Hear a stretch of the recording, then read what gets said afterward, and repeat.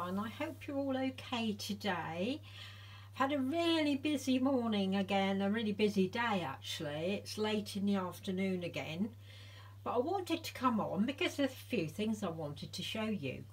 And the first thing is, of course, my, my birthday bears. And these are my beautiful Charlie Bear, whose name is Roger. Say hi. He's settled in really well. He loves being here. And he was sent to me by my dear friend Lucy. And she knows how much I love Charlie Bears. And he is amazing. I just love his eyes. Got such soulful eyes. And then I've got Bubbles, who is my Royal Mint Bear.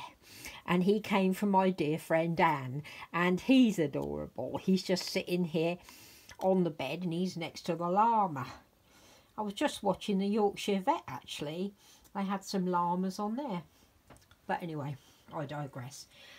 I love my new teddy bears. They are just adorable. Absolutely love them. And thank you so much, Lucy and Anne, for sending them to me. You're so sweet. Mwah. I had the most amazing gifts for my birthday from all of you lovely ladies out there and I can only send you thanks from the bottom of my heart. So thank you so much.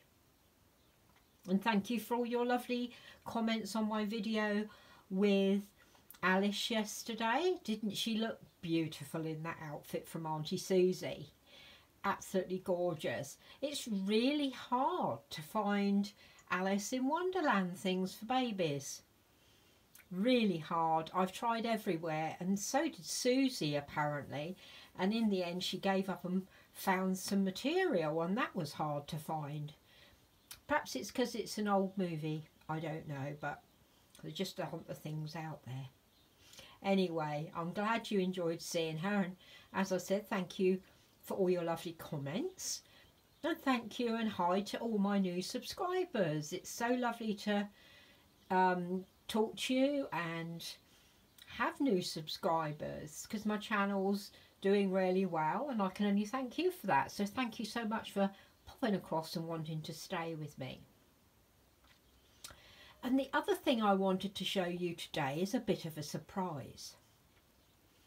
Now, you know that Alice was a sculpt that I actually absolutely loved and I gave up and I shouldn't have done and I've always regretted it and I think it's always good when we can own up to these things, you know. We, on a spur of a moment, decide to do things, or I do anyway, and, um, and then regret it.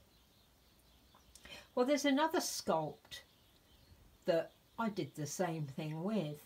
I actually sold this sculpt and um, always regretted it and always wanted to get another one but it's a sculpt it's very hard to find very hard to come by. So when I saw this baby on eBay I just had to get her. I just had to and I know I've only recently had a box opening and that's why I haven't done another box opening. I thought I'll just show you show her to you. Hope that's okay. Yeah another baby, another new baby, but I just could not let this baby pass because if someone else had bought her, I would have never forgiven myself. So let me just pause you and I'll get her. And here she is. She's the Maisie Sculpt by Andrea Arcello and she is a sculpt that is just so hard to come by and I just love this baby to pieces. She is adorable. I just love her smile. She's This baby has got two little teeth, which my baby didn't have. Um, and she's got the most amazing hair. It's two-tone blonde and brown. And at the back, she's got the most amazing back of her hair. Come on, sweetheart. Look at this. the back of her hair is all curled up. Can you see? I don't know if what you're seeing. Hopefully you're seeing it okay. Let me see if I can turn her to the side. You might be able to see better then. Get away from her a bit. Needs a bit of a brush, doesn't it? Let's brush it down a bit because she's been sitting with Ginny and she's been talking to her because, of course, Ginny had my other Maisie was her big sister. So there we go. Look at those beautiful curls on the back of her head. Aren't they beautiful? And like I say, she's got two-tone hair, so there's blonde bits and brown bits. Let's turn you again, darling. There you go. She's such a beautiful, happy little girl. And I'm going to call her Emma Esther. Because um, I use that name for my Christopher Robin. And of course, he's become a boy. And I do love the name Emma Esther. It's a special name. And she wanted to have this big rabbit. So I've let her have that big rabbit as her own. And as I was saying, Ginny is so pleased to have her back in my nursery. And I hope you'll welcome her. It's my beautiful Emma Esther. She is just amazing. She's got a little tuft of hair here.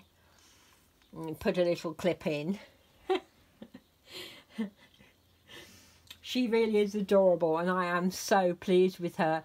And I hope you'll welcome her to my nursery. And as I say, it's um, very exciting for me to have her back. This is just a wonderful sculpt. She's got um, full arms and legs. And she's got little bent legs. And I just think this sculpt is beautiful and as I say she is very hard to come by and when I saw her I just had to get her so I hope you'll forgive me for getting another baby so quickly but how could I resist I hope you like her so that's my little Emma Esther so say hi everybody hi I hope you like me she's just beautiful love her to pieces. Every time I come in the nursery, I see her and pick her up. She's just so cute. And the other thing, there's something else I wanted to say, and that is I wanted to say hi to Susan. Now, Susan is a subscriber of mine that probably remembers my first Maisie because she's been with me right from the beginning of my journey on YouTube. She's such a sweet girl, and I just so pleased that she keeps watching and um, she did uh, adopt one of my babies, one of my early babies, a baby called Ruby.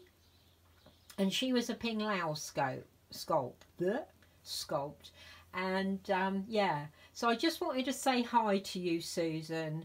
And thank you so much for sticking with me for three and a half years and more and still enjoying my channel. Really sweet of you. And I just wish you commented because you never comment, but I know you're watching. So, mwah, big kiss to you. And I hope you feel well soon. And the other thing I wanted to say was, does anybody know how Diana is from the Hummingbird Nest? She had her big operation on my birthday and I've been wondering how she is. I have emailed because she said her son would answer, but I haven't had any answer from him.